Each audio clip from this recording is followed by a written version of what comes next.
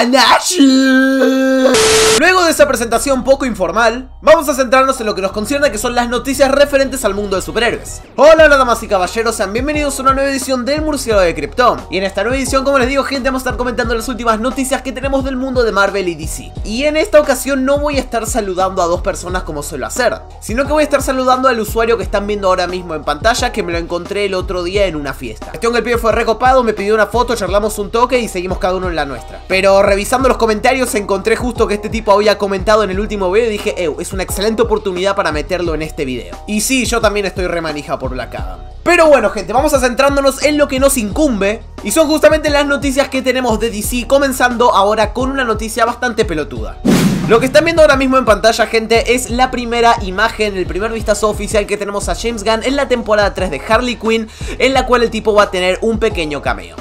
Sinceramente es una noticia bastante tarada, yo ni siquiera veo la serie de Harley Quinn, a pesar de que mucha gente diga que la serie es una joyita, pero todavía no he tenido oportunidad de verla. El tema es que me parece gracioso que James Gunn literalmente haga un cameo en este proyecto. Pero bueno, era una noticia boluda que quería destacar. Vamos a seguir con otra noticia que tiene que ver con Superman and Lois, la serie de CW y también con algunas cositas de HBO Max, llegará a su fin esta misma noche. De hecho, mientras ustedes están viendo este video, lo más probable es que se esté emitiendo el capítulo final de la serie. El tema es que ahora, gente, hemos tenido una nueva noticia, ya que el showrunner de Superman and Lois, Todd Helvin, ha confirmado que la serie está en el mismo universo que la Arrowverse. La cosa es que si son seguidores de la serie se habrán dado cuenta que esta no tiene prácticamente conexiones con el Arrowverso, pero dice que muy pronto vamos a saber el por qué no hay conexiones con otros personajes en la serie.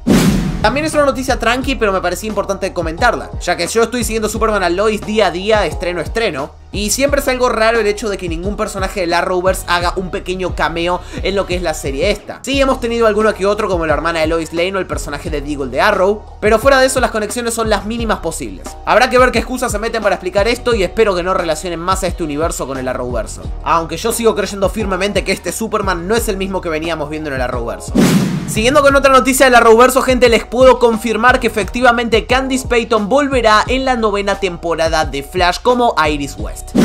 ¡La puta madre que me recontra parió! No voy a spoilearles nada del último capítulo de Flash porque la serie se está poniendo buena y vale la pena verlo. Pero no puedo creer que esta tipa vaya a volver en la novena temporada. Espero que vuelva como flashbacks o para hacer algún cameo especial, pero no la quiero ver más. No quiero hacer un video entero hablando de Iris, gente, pero me tiene harto, por favor, alguien que la saque, no puede volver. Barry es un pibe fachero, que se consiga otra novia, esta tipa no va más, basta, corta la bocha, otra cosa.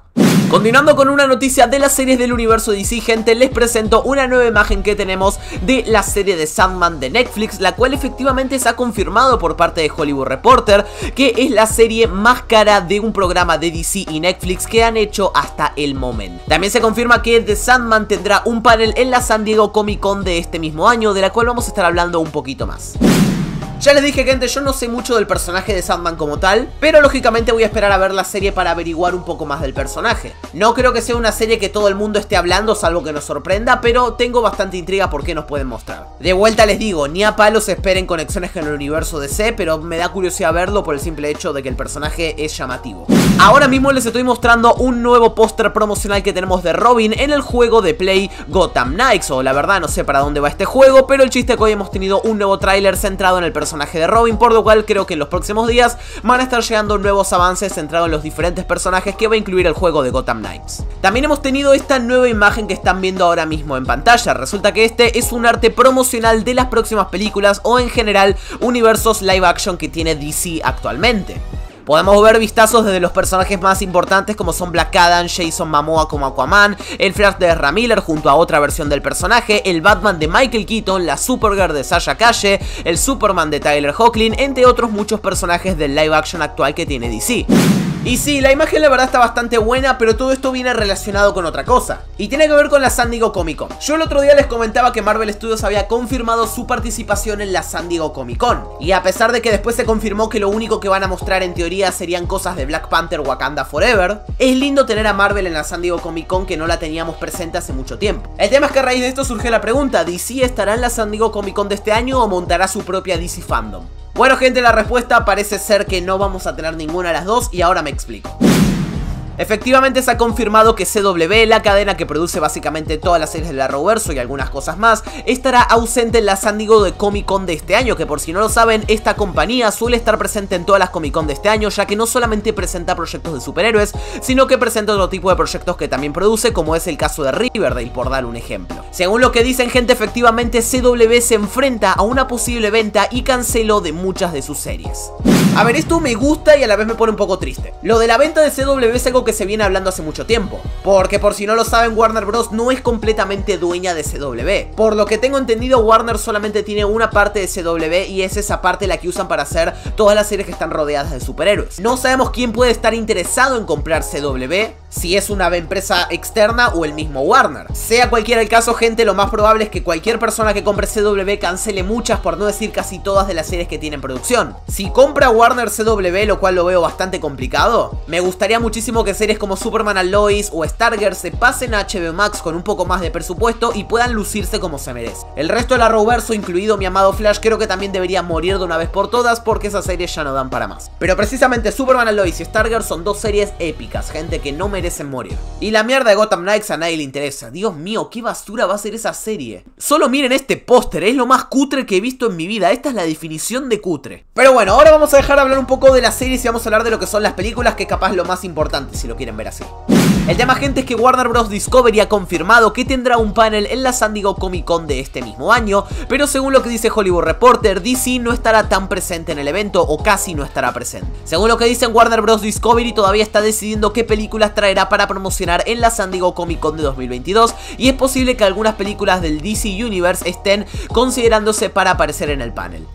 Por ahora, gente, no hay nada confirmado sobre la presencia de DC en la San Diego Comic Con. De hecho, yo me inclinaría a decir que no vamos a ver mucho o nada en el evento. Exceptuando algunas cosas como, no sé, un nuevo avance de Black Adam tal vez. O, ¿por qué no, algo que venga de la mano de Shazam Furia de Dioses? Pero más que un tráiler o alguna entrevista con algún actor, no esperaría. Y respecto a Flash y Aquaman, me parece que no vamos a saber de eso en mucho tiempo. Por los problemas con Amber Heard y con Ezra Miller respectivamente. Pero bueno, calmémonos un poco, ya voy a hacer mi video de Ezra Miller hablando nuevamente de los problemas que tiene el chabón. Y vamos a hablar ahora de la película de Black Mierda Canary. El insider Icon, el cual les vengo comentando hace bastante tiempo en el canal, ha comentado que el casting debería comenzar en noviembre-diciembre de este mismo año para la película de Black Canary. Según lo que pone el insider, supone que Green Arrow va a ser el primero en ser elegido para el papel. Y esto la verdad me gusta. Se los dije en el otro video, la película Black Canary me chupa un huevo y la mitad del otro. Pero si me ponen a Green Arrow ahí en el medio, lo puedo comprar y me puede llegar a llamar la atención. Hablando de spin-off de películas, gente, también tenemos información sobre los spin-off de la Sociedad de la Justicia de América de Black Adam, ya que el Insider Icon, el mismo de la noticia anterior, ha confirmado que los anuncios derivados de la JSA se llevarán a cabo hasta el lanzamiento de Black Adam. Según lo que dicen, han estado desarrollando varias ideas, pero que todavía no tienen ninguna luz verde. Uno de los proyectos que más se habla es el proyecto de Hawkman o también de algún otro personaje de la JSA. Sinceramente esto es bastante obvio. El hecho de que Warner quiera hacer spin-off de la JSA es completamente factible. Y también veo bastante lógico que quieran esperar a ver qué tanto éxito tiene Black Adam en los cines. Ya que si la película es un fracaso o no le gusta a nadie, después tener 15 spin-off de personajes no va a salir nada rentable. Pero personalmente creo que un spin-off de Hawkman o de Doctor Fate podrían funcionar muy bien. Y terminamos con esta imagen que están viendo ahora mismo en pantalla de Sasha Calle y Leslie Grace, Supergirl y Batgirl respectivamente, ya que estos días han estado juntas las dos actrices. Y de la mano de esto, gente, también se ha publicado una nueva imagen que ustedes están viendo ahora mismo en redes sociales que ha llegado a las voces de los tres actores. Como ven en la imagen vemos a Supergirl, Batgirl y Blue Beetle con el título de Young Justice haciendo referencia al famoso equipo de superhéroes jóvenes de DC. El tema que esta publicación fue hecha por la misma Leslie Grace y el actor Cholo Maridueña y Sasha Calle, los intérpretes de Supergirl y Blue Beetle respectivamente, han comentado en la publicación.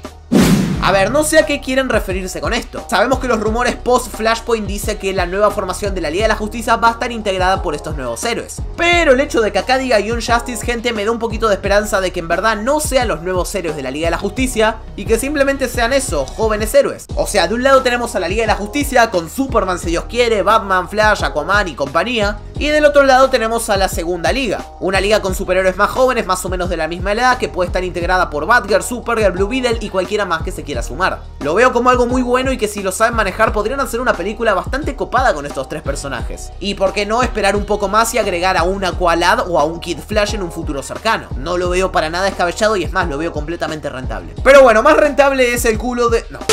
Porque gente, ahora sí nos vamos a mover de universo y nos vamos a ir a hablar de Marvel Studios ya que tenemos nueva información de todo lo que concierne a Marvel y Disney. Actualmente, gente, se ha confirmado que Bob Chapek se irá siendo el CEO de Disney durante los tres próximos años, ya que el tipo acaba de renovar contrato. La verdad pensé que la noticia iba a ser un poco más larga. No sé, en mi cabeza pensé que iba a poder desarrollar algo sobre esto, pero no, solo puedo decir lo que les acabo de decir. Bob Chapek se queda un rato más. Y tampoco voy a hablar mucho de Marvel Studios, más bien voy a hablar de Marvel y Sony. No se emocionen, no se emocionen, no se emocionen. No voy a hablar de Morbius, voy a hablar de otra cosa. Como ya saben, estos últimos meses han estado confirmando diferentes castings para la película de Madame Web protagonizada por Dakota Johnson interpretando el personaje protagonista. Resulta que ahora gente han comenzado los primeros rumores que vienen de fuentes fiables como Daniel RPK que dicen que el proyecto de Madame Web de Sony es mucho más grande de que nosotros pensamos y según lo que dicen Madame Web va a estar contactando a diferentes personajes, diferentes superheroínas del multiverso para luchar contra una misión. Y entre estos personajes se habla mucho de que podría estar Gwen Stacy o incluso Black Cat. A ver, la noticia está ahí media en luna nebulosa. Lo más importante es lo que ha confirmado Daniel RPK y es que literalmente Madame Web va a estar contactando superheroínas para luchar contra una misión o para llevar a cabo una misión. Puede salir algo bueno si lo manejan bien, poniendo a variantes de Gwen Stacy, ¿por qué no? O de Black Cat como les mencioné anteriormente. Pero por favor, gente, espero que lo relacionen un poquito con Spider. Si ponen a Gwen Stacy, por favor, pongan a Gwen Stacy como Spider-Gwen. No me pongan a una random que simplemente se llama Gwen Stacy, pero no tiene nada de Gwen Stacy. Ya estoy harto de películas de personajes relacionados con Spider-Man que no tienen conexión con Spider-Man. Y sí, Morbius y Venom los estoy mirando ustedes. No puede ser que las conexiones con Spider-Man sean casi nulas. Y no, las escenas post-créditos clickbait no cuentan. Ojito Craven, te estoy vigilando. Ojito Craven porque sé que vas a hacer lo mismo, hijo de puta. Es tiempo de morbosear. Rápidamente les confirmo un par de noticias como el hecho de que Armor Wars comenzará a rodar en otoño de este mismo año. También gente les comparto esta nueva imagen de Vincent Donofrio en la cual el tipo ha comentado que efectivamente vuelve al trabajo. Posiblemente esto sea para Kimping en la serie de Echo en la cual seguramente repita al personaje que vimos en la serie de Daredevil y también en la serie del dios todopoderoso Hawkeye. Y bueno, ahora prepárense, pónganse cómodos porque les voy a comentar una noticia que no tiene el puto sentido. Y lo peor es que viene de una fuente confiable. Daniel RPK gente ha confirmado que la versión que vimos en Black Widow de Taskmaster volverá para la película de los Thunderbolts. Según lo que comenta Olga Kurilenko, volverá a interpretar a Taskmaster en esta película. Dios mío Marvel, tenías la oportunidad de corregir tu error. Seguro entiendan la decepción que fue ver a esta tipa interpretar a Taskmaster, el temido villano de la película. Pero yo creí que Marvel había entendido que los fanáticos no nos gustaba esto. Como Marvel también entendió que el mandarín de Iron Man 3 fue un completo chiste y lo arregló después en Shang-Chi. Ahora tenían la oportunidad perfecta para redimir a Taskmaster y meter a otro chabón, a otra tipa, a alguien que sea más interesante que Olga. Mi problema no es el cambio de género, el problema es, es, es Olga. Olga, ¿qué? ¿Qué hace Olga? Ya les digo, el problema no es que sea mujer, porque si tiene los mismos poderes no pasa nada. Olga, no, Olga, ¿qué pasa, Olga? Olga es nombre de la vieja. En fin, un poquito de humor para descontracturar a Morbius. Si te gustó el video te pido que des un tremendo like, te suscribas, active la campanita y me digas qué opinas de esto en los comentarios. Suscríbete por favor, deja un comentario diciéndome qué opinas de las noticias de este video. Y ahora sí gente, creo por mi parte estoy yo me despido, mis queridos murciélagos.